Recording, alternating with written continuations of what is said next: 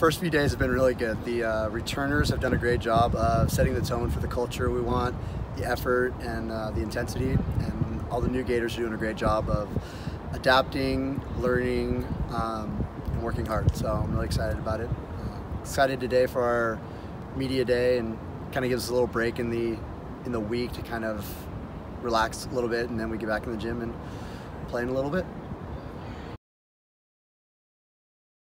I think just enjoying every day and getting to really know each other because honestly like I met a bunch of my best friends from volleyball and I know we're to be friends like for the rest of my life so just enjoying every moment with each other. I'd say live it up while you can because it goes a lot faster than you think. I feel like yesterday I was just freshman year in high school and now I'm going into my senior year in college so it goes by way faster than you can imagine and you just have to live up every second even when you get frustrated.